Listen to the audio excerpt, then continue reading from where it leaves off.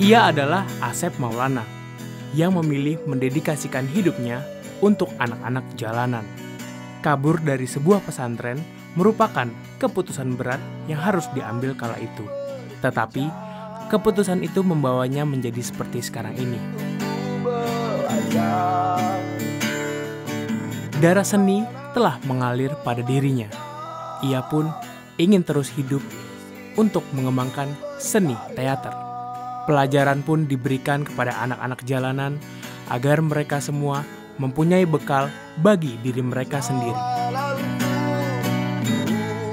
Situasi hidup yang ia alami tidaklah mudah, tetapi hal itu tidak menyurutkan semangatnya untuk terus mengamen dan memberikan pendidikan kepada anak-anak jalanan.